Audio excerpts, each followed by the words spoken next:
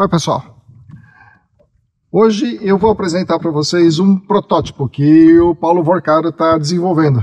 Vorcaro, explica um pouquinho do, dessa sua mosca aí. Que, que, qual o nome dela? O que, que é que, você vai que a gente vai testar aqui?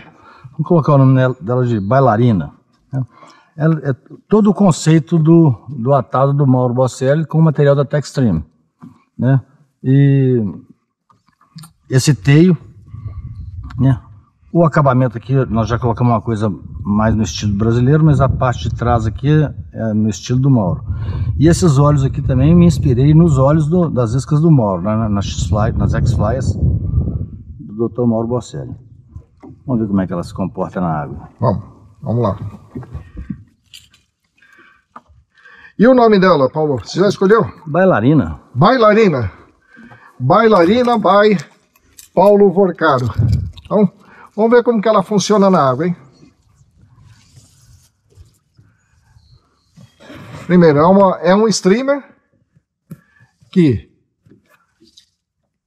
ele afunda, ele, ele tem que afundar para a gente poder pescar os, os azulões, os tucunarés aqui, e ele baila. Né? Ele tem um, uma cauda que faz com que ela tenha um nado, olha só a cauda da mosca, um nado interessante.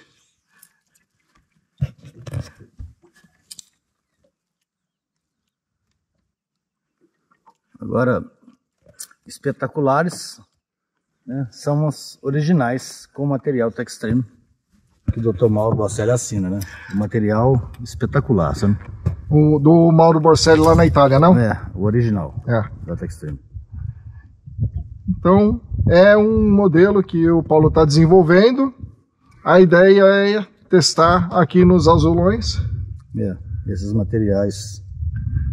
Que são diferentes para o nosso. É. A gente não, não usa, não, não conhece a fundo, mas veja só, olha o nado da mosca, né? Ela tem uma tendência né, de, de ir virando, aí volta, vira de novo, volta, e você pode, pode colocar qualquer trabalho que queira. Por exemplo, pode ser um trabalho mais provocativo. Mais bailante. É. Pode ser um, um ritmado, trabalho... Vai, vai um ritmado bem suave. Um ritmado bem suave, ó. Um Às contínuo. vezes a gente tem que passar na frente dele devagar, olha só. E tem que atacar direto para baixo, olha só. Olha só. Bem interessante. É isso aí. Valeu. Bora lá. Valeu, Paulo. Valeu, Lazare.